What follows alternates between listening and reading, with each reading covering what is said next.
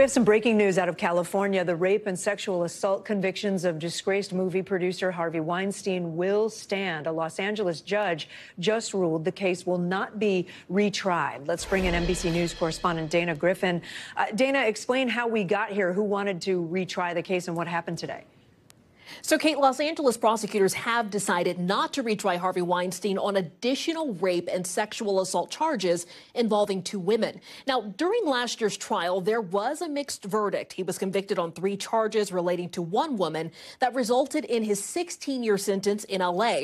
But the jury acquitted him of other charges related to three other women. Now, today, the judge dismissed the additional charges and said that Weinstein would be returned to New York, where he is appealing his 2020 rape and sexual assault conviction. He was sentenced to 23 years in that case.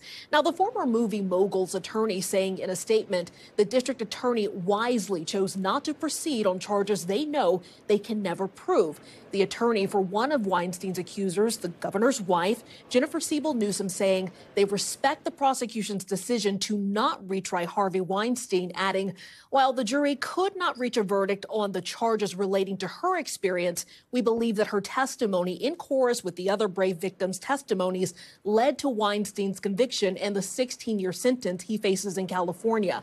Weinstein's spokesperson says they now plan to focus fully on clearing the soon to be 71 year old's name, signaling that Weinstein will appeal convictions in both New York and Los Angeles.